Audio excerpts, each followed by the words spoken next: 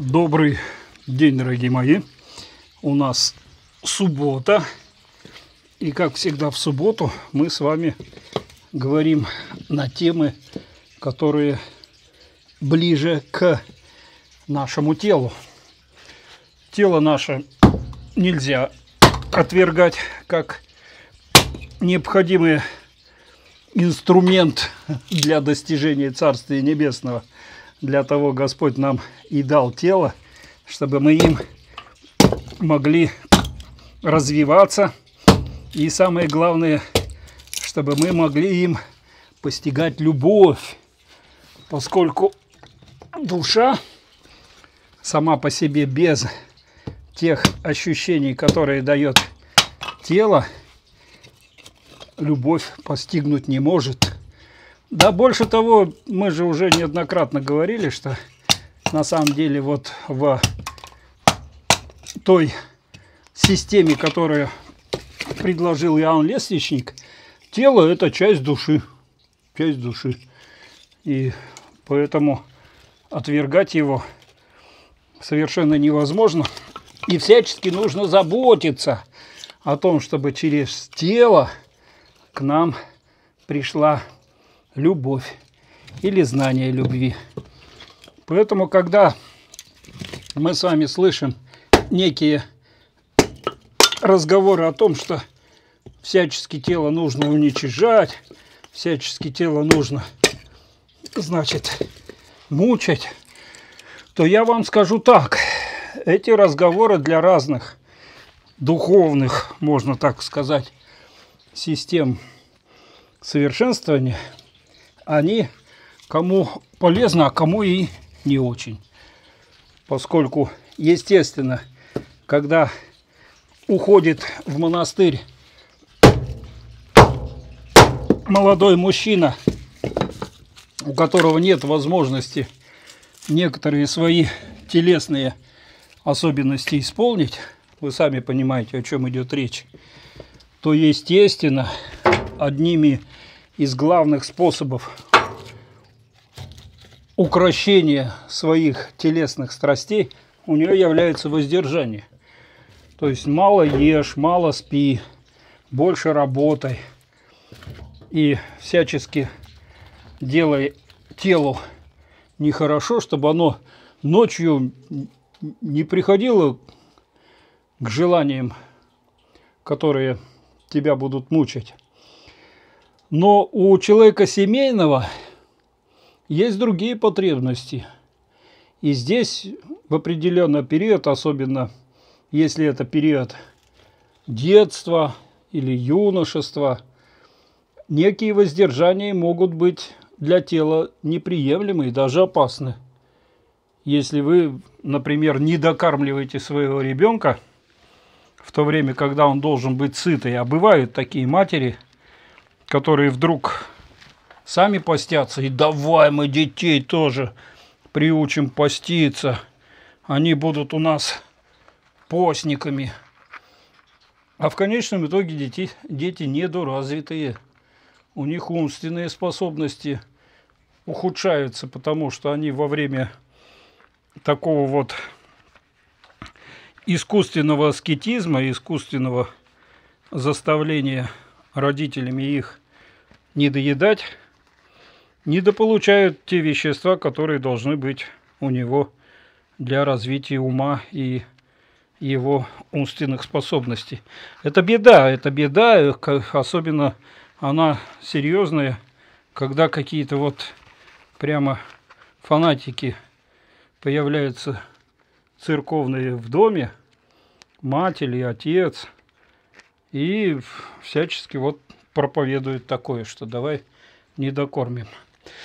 Но это отдельная тема, можно на нее, значит, отдельно поговорить. А сегодняшний вопрос обусловлен одной из вас, которая, увидев мой ролик, где я помянул о благорастворении воздухов и спрашивает меня, «Батюшка, а что такое благорастворение воздухов? Что-то я никогда об этом не слышал». Мне, конечно, очень странно, что ты не слышала, потому что их и благорастворение это поминают в Великой Ектенье или в Мирной Ектенье на литургии. Это самое главное Ектенья всей службы. В ней весь набор того, что мы должны поминать, того, что должно быть таким, как мы хотим по нашим молитвам. И в этот набор, состоящий из 11 прошений, 11 там прошений, мы там просим и о мире всего мира, чтобы не было никаких войн. Мы просим о том, чтобы у нас патриарх и епископат был правильный. Много мы можете посмотреть просто текст, сейчас в интернете несложно это найти, Великой Ектинии, там все, все в общем-то, есть. Но в состав ее входит и о благорастворении воздухов. Воздухов, вот так, в общем-то, звучит. Просим. И что это значит? Если вы пойдете сейчас посмотреть в, ну, скажем, на православие ру, на такой контент, либо просто пойдете на патриархийный сайт и там найдете вот эти все объяснения, то вы увидите, что основной акцент о том, о чем мы молимся, якобы вот в этом возгласе, происходит от того, что мы хотим чистого хорошего воздуха. Чистого хорошего воздуха. Я скажу, что да, в последние годы, особенно десятилетия, эта проблема очень тяжелая. И загрязнение воздуха на самом деле одна из тяжелейших проблем человечества, с которым оно не знает, как бороться. Нет, ну, знают, конечно, там всякие фильтры ставят там или еще что-то. У нас звучит в основном потепление воздуха. На самом деле это потепление в большой части происходит из-за загрязнения. Кроме выделения СО, выделяются частицы грязи или химикаты, которые летают и которые на самом деле уже окружили весь мир. У нас так сложено в природе, что все стягивается к экваторам. То есть вот на самом деле выходит на севере дымы, а на экваторе движение, сами понимаете, поскольку тут основной диаметр планеты больше, и все вот это стягивается к экватору. Так вот, если смотреть сейчас на предельно допустимые нормы, которые установлены как чистый воздух на планете, то вот области экватора, они уже очень сильно загрязнены, там практически нет чистого воздуха. Ну, я вам, давайте я вам вот, вот карту выложу. Вот как распределяется, в общем, грязный воздух по планете. Но это не значит, что он вот только там, вот только туда все, вся грязь собралась, и там уже совсем э, плохо. На самом деле очень плохо и в некоторых городах. У нас в стране просто, давайте честно скажем, что абсолютно плохо в Москве. Москва, мы знаем, на семи холмах. Ее все время радовались, что она на семи холмах. На самом деле она в низине еще получается. И поэтому все выбросы, которые в Москве происходят, они, к сожалению, в Москве надолго и остаются. И поэтому в Москве и вода практически неприемлемая, и воздух вообще неприемлемый. Если я вам покажу карту ПДК Москвы, ну вот давайте вот, то здесь на этой карте есть еще некое такое лукавство. В Москве примерно в 96-м, 98-м, не помню в каком году, при Лужкове приняли временные нормы ПДК, то есть предельно допустимых концентраций вредных веществ в воздухе и в воде, которые превышают общие нормы в несколько раз. Ну, по-моему, в 10 раз, насколько я, я помню. И поэтому, когда решили, что эти нормы можно повысить, повысили как бы для москвичей нормы питания улучшили, улучшили, значит, считая, что вот таким образом они, питаясь хорошенько и всякое, у них поэтому зарплаты выше, у них пенсии выше, у них социальные пособия выше, повысили медицину, таким образом стараясь компенсировать вот ту заболеваемость от плохого воздуха и от плохой э, воды в Москве, на самом деле нас, э, это не срабатывает. То есть, на самом деле, заболеваемость людей, заболеваемость э, детей в Москве гораздо выше, чем на периферии, скажем, у нас. Ну, у нас скажут, что тут нет никакой медицины, никто и не ходит к этим врачам. Ну, может быть и так, конечно, и, и такая есть проблема, но, по-моему, такая общая, общая, вот э, я цифру не помню, э, 35 раз затраты на медицину москвича больше, чем у того, кто живет на периферии. И основная все равно остается проблема заболеваемости в воде, которую там считают, все, там хорошая вода, там ее пить можно, она входит в ПДК. В какую ПДК? Я приезжаю к друзьям, которые пьют воду из крана, да, она у них стала чище, чем раньше была, но я не могу у меня организм не принимает, потому что я пью свою вот воду, как говорится, родниковую. Поэтому вопрос благорастворения воздухов, то есть чистого воздуха, стоит чуть ли не на первом месте у человечества. На первом месте у человечества. И решить этот вопрос будет крайне сложно, тем более, что мы видим – какие сейчас идут энергетические войны, как опять начинают открывать э, станции, работающие на угле, там. Но на самом деле самый большой э, выброс э, вот этого плохого воздуха, то есть вот этих загрязняющих веществ, он даже не совсем от предприятий. То есть 25% дают машины, а 50% плохого, вот неправильно сожженного воздуха дают на самом деле летательные аппараты, самолеты. Самолеты.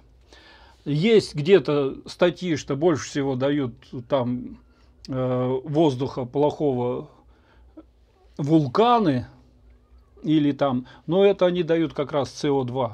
То есть вот, а не загрязнения, которые настолько ядовитые для человека, что вызывают рак, вызывают рак кожи, желудка, ну и все, всего понятно. И поэтому понятно, что в современных-то условиях разговор о том, что чистый воздух, благорастворение воздухов, чистый воздух – это о нем молитва, плюс добавляют это молитву о климате, чтобы еще этот благорастворенный воздух, э, значит, были, была хорошая погода – хорошее, значит, э, атмосферное явление, чтобы росло все как, как полагается. У нас в Пестяках, кстати, как-то не так, как везде. Тут все время, можно так сказать, благоприятная для роста растений погода, потому что дожди идут реже, но обильные.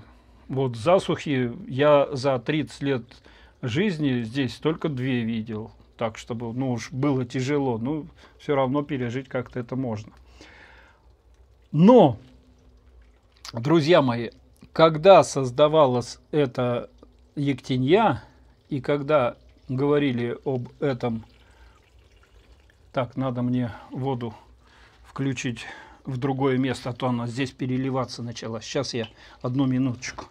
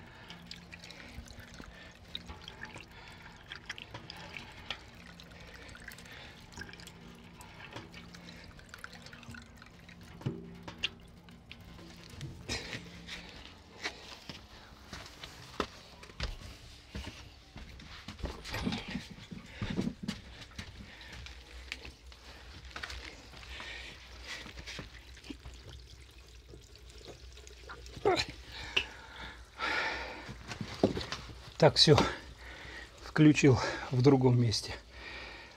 Так вот, когда создавалась эта ектения, конечно, этой проблемы не было. Ни о каком загрязненном воздухе, ни о каком неправильном климате, конечно, тогда не знали. Больше того, поскольку как-то локализовано было тогда христианство в странах южных, так скажем, вот, потому что Иоанн Златоустый же эту Ектению вставил в литургию. И по Иоанну Златоустому мы ее и служим, эту литургию. А он где жил? Сами понимаете. Ну, я вам показывал, где он кончил жизнь. И это тоже Абхазия. Здесь разговор о том, что какой-то грязный воздух был в, в его время или климат какой-то не совсем благоприятный. А говорить сложно, говорить сложно. Поэтому если мы, или я, задумавшись, а что же эта Ектинья из себя представляет, сделал вывод, что все-таки речь идет о том, чтобы воздух стал святым, благо растворенным.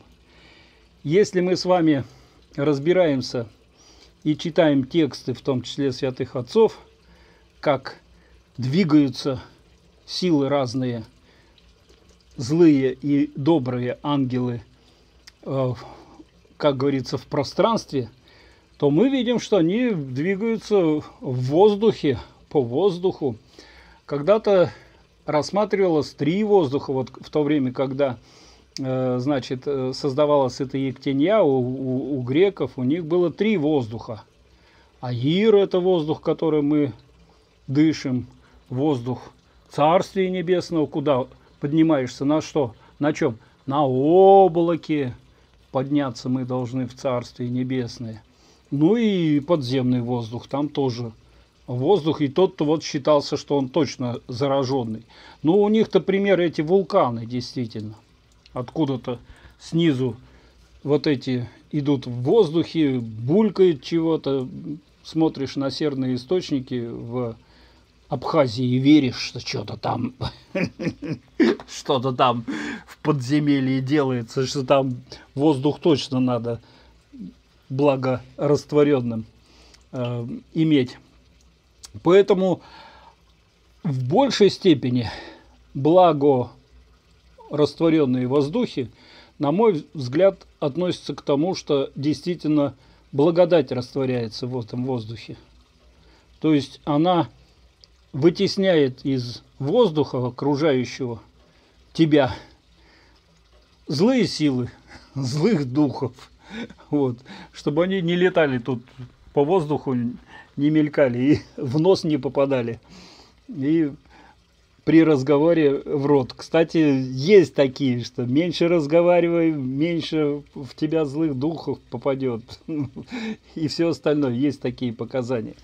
Вот и это, на мой взгляд, главное, что в этой Ектенее в молитве на самом деле звучит, что вокруг тебя должен быть святой воздух, благорастворенный воздух. Кстати, мы опять сидим в бане, и я еще раз э, могу вспомнить, что если вы найдете, например, а, служебник Петра Могилы, то там есть э, молитвы по изгонянию злых духов, и в бане, в том числе и в паре, и в воздухе банном, тоже молились, чтобы они были благорастворенные, чтобы в них не было злых духов, когда ты приходишь и в бане моешься. Вот такой мой ответ, поэтому молитесь всегда вот о священии пищи в домашних условиях обязательно должно быть. Молиться обязательно надо над пищей. Значит, молиться о душе с утра и, и на ночь тоже обязательно. И обязательно не забывайте о благорастворении воздухов воздухов. Ну, в церкви-то много для этого делается, чтобы еще вы, выгнать из воздуха. Там, помните, и окропления какие-то идут. И ладан на самом деле курица, как святая такая, можно субстанции, которые выгоняют этих злых духов, они от ладана якобы бегут. Поэтому вот это еще считается. Дома можно жечь ладан. Некоторые говорят, можно ли дома? Можно. Есть специальные такие устройства для на свечке или на лампадке сжечь этот маленько ладан. Но можно еще и по-другому. Это тоже растворяет в воздухе. Тоже выгоняет из вашего дома, из ваших углов этих злых духов. Вот так. Такой ответ. Здоровья вам всем, радости, ну и тем, кто в бане идет с будущим легким паром. Аминь.